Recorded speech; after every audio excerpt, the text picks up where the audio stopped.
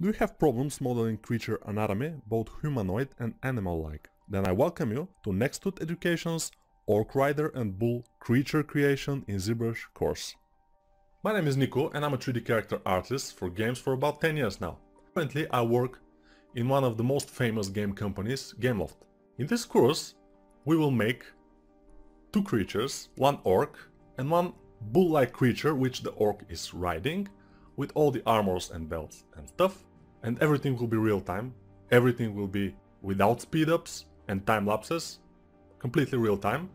And by the end of this course you will be able to model a high poly, detailed creatures, render them, poly paint them and pose them from start to finish in ZBrush.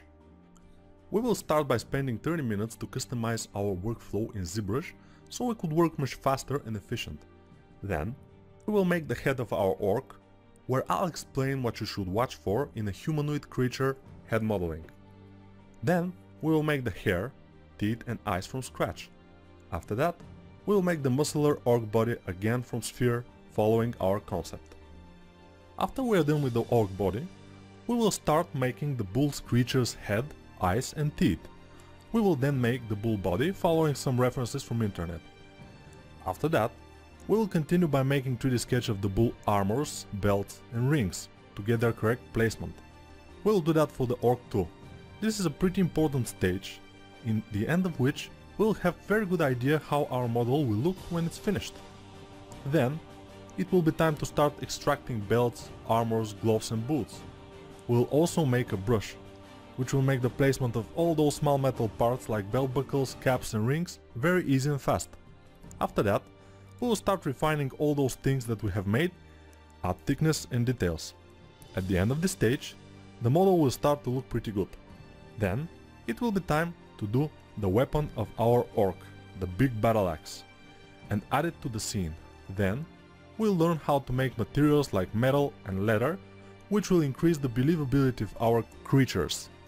Once we are happy with the overall look of our orc rider, I will show you how to make good pose with Transpose Master in ZBrush.